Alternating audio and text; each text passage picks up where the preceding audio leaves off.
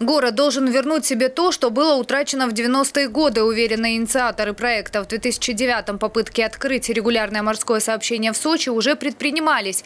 Ведь как раз в предолимпийский период все причалы были реконструированы. Но прежняя компания оказалась недостаточно состоятельной, поэтому на линию пассажирские судна так и не вышли. В Адлере прежде действовал пункт для сообщения с Абхазией, он фактически прекратил существование и надо его вернуть для общегородских нужд. В Америтинке построен пирс, который неизвестно кому принадлежит и пока еще никак вообще не используется. Сейчас отстроенные пирсы принадлежат Росморпорту. Их нынешние арендаторы охотно поддерживают идею возродить советскую традицию.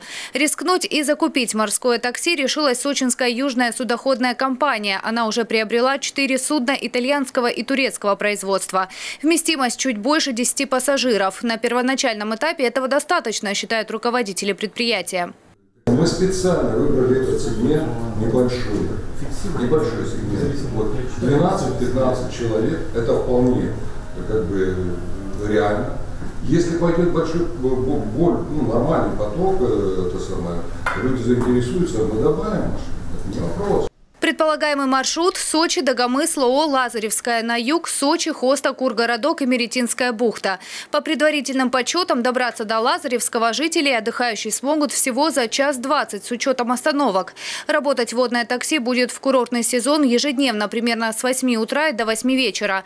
На совещании также обсудили вопросы безопасности пассажиров и организации отдыха на территории пирсов помощник президента заинтересовался этим проектом, обещал свое содействие, ведь нужны для этого кредиты, нужны для этого э, хорошие отношения со стороны Росморпорта, Сочинского морского торгового порта, где все эти суда наконец-то будут базироваться. Не только частные яхты, но и в данном случае корабли, которые, э, суда, которые смогут перевозить пассажиров.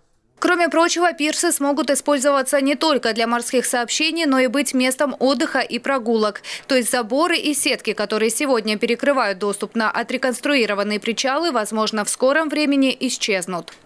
Татьяна Говоркова, телекомпания «ФКТ».